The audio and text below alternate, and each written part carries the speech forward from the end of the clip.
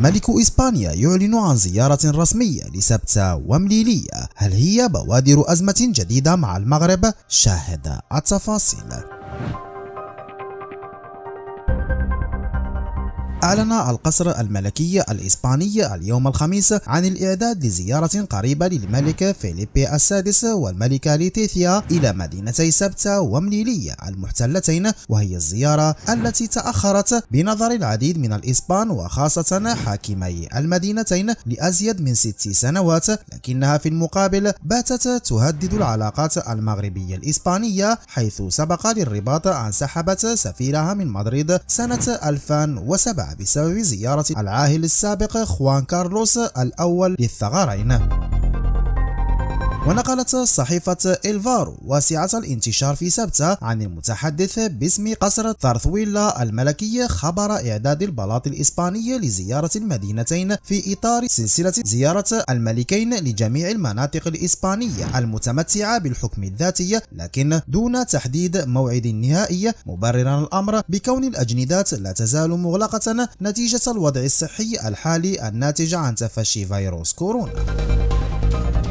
ومنذ توليه عرش إسبانيا في 19 من يونيو 2014 خلفا لوالده المتنازل عن منصبه بسبب تقدمه في السن وتدهور وضعه الصحي وتراجع شعبيته. أتم الملك فيليبي السادس زيارة جميع مناطق إسبانيا بما في ذلك جزر الكاناري وهي أبعد نقطة من التراب الإسباني عن شبه الجزيرة الإيبيرية لكنه ظل يؤجل زيارة سبتة ومليلية المحتلتين على الرغم من تلقيه دعوات صريحة من رئيسي حكومتيهما المحليتين.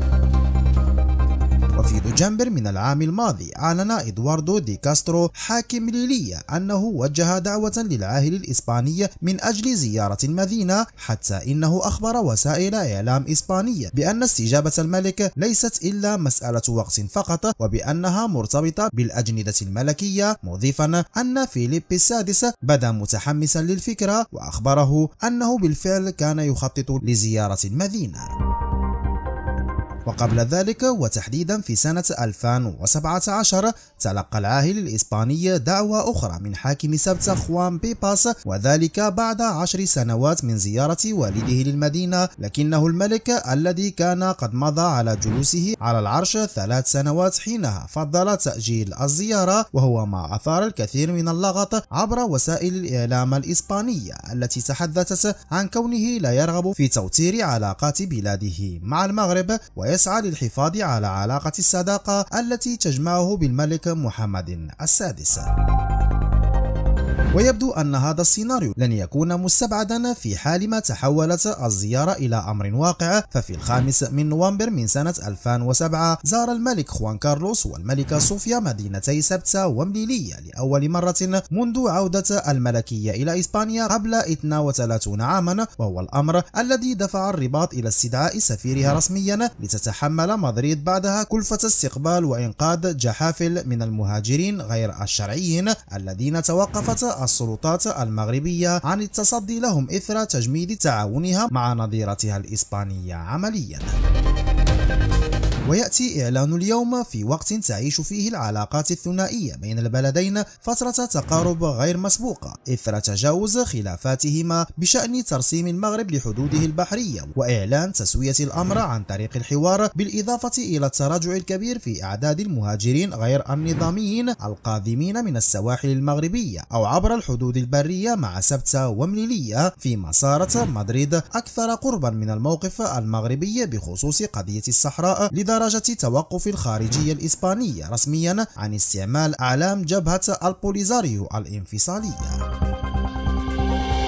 ورغم ذلك لا يبدي المغرب ليونة بخصوص قضيتي سبتة ومليلية فمنذ العام الماضي شرع في إجراءات جديدة يعتبر سياسيو اليمين الإسباني أنها تسعى لخنق المدينتين وذلك بوقف التهريب المعيشي بصورة نهائية ووقف الأنشطة التجارية عبر المعابر الحدودية البرية ومنع الدبلوماسيين وممثلي السلطتين التشريعية والتنفيذية المغاربة من دخولها بواسطة جواز السفر المغربي إلى جانب إنشاء إنشاء منطقة اقتصادية بديلة بمدينة الفنيدق. الأمر الذي دفعهم للضغط على العاهل الإسباني للقيام بالزيارة من أجل التأكيد على كون المدينتين جزءا من التراب الإسباني. تبعات كورونا مستمرة. مغاربة بروكسل ممنوعون من الاحتفال بعيد الأضحى. وجدت الجالية المغربية ببروكسل نفسها مطوقة بثلاثة موانع ستحرمها هذه السنة من الاحتفال بعيد الأضحى. فبعد إلغاء عملية مرحبا التي تؤمن عادة عودة أفراد هذه الجالية إلى وطنهم الأم وفرض إجراءات التباعد الاجتماعي داخل المساجد لن يكون بإمكانهم أيضا نحر الأضاحي داخل المجازر الإسلامية المؤقتة التي يتم إنشاؤها سنويا لهذا الغرض.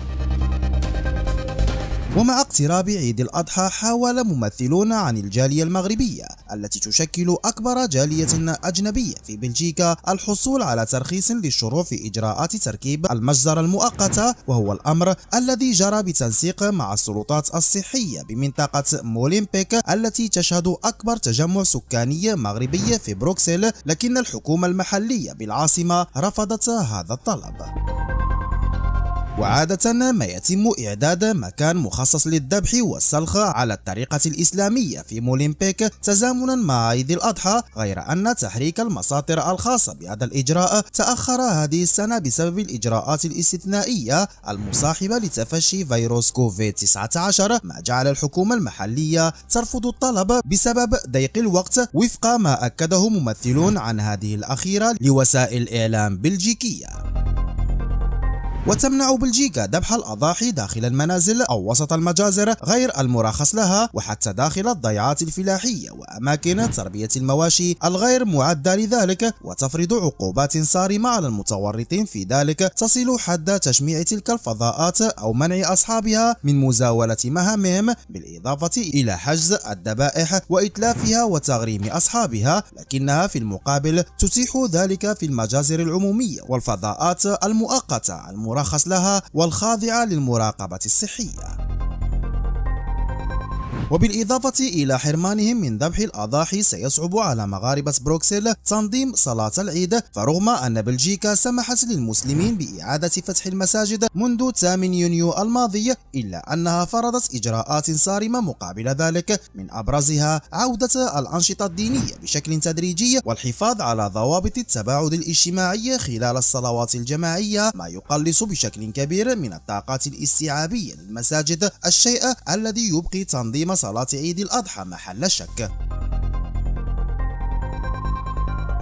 وكان العديد من المغاربة ببلجيكا يمنون النفس بالاحتفال بعيد الأضحى في بلدهم الأصلي هذه السنة بسبب تزامنه مع شهر غشت وهو موعد عطلتهم الصيفية. لكن جائحة كورونا فرضت إغلاق الحدود بين المغرب والاتحاد الأوروبي. ورغم أن بلجيكا أعادت فتح حدودها رسميا هذا الأسبوع مع 15 دولة من بينها المملكة إلا أن استمرار إغلاق الحدود من الجانب المغربي وإعلان وزارة الخارجية والتعاون الإفريقي الأفريقي والمغاربه المقيمين بالخارج رسميا إلغاء عملية مرحبا هذه السنة امران يصعبان مهمة العودة.